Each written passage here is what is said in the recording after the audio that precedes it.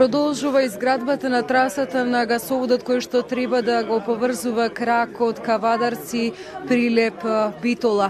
Со мене е господинот Миладинов. Господине Миладинов, се наоѓаме некаде помеѓу Кавадарци и Прилеп. Што точно се случува овдека? Благодарам многу за присуството. Поздрав до вашите гледачи. Точно се наоѓаме точно на средина помеѓу Кавадарци и Прилеп. А овде продолжува изградбата која започна во февруар месец во потегот на Кавадарци. Тамо се веќе изработени околу 7 до 8 километри од трасата.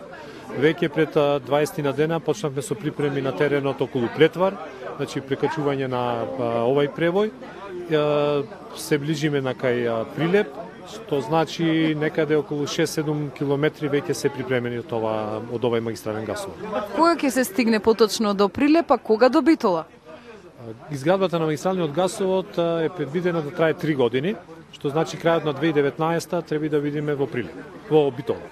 Но према динамиката која се одвива до сега, очекуваме многу побрзо да се изведат работите тоа значи дека некаде септември или октомври наредната година веќе Прилеп ќе биде во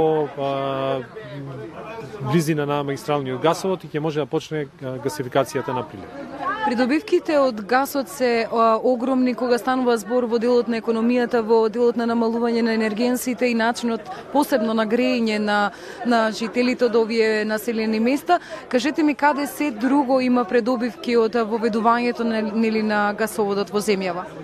Точно, голема придобивка е неговата примена во домакинства каде се очекува да биде конкурент на сите други енергенси, и на струјата, на нафтата, на мазутот и се надеваме дури и на а, огревното дрво. А, секако тоа е еден сегмент од предноста, второ е приставноста пристапноста на природниот газ до индустријските објекти Понатака, уште еден важен сегмент, тоа е сигурноста со снабдување. Значи, не е важно само цената, понекогаш е важно дали имате или немате а, дополнителни енергенции, дали имате конкуренција во секторот за енергетика и дали имате долгорочна стабилност. Со изградбата на националниот гасовод во Македонија, секако многу се зголемува стабилноста со снабдување на енергија во државата.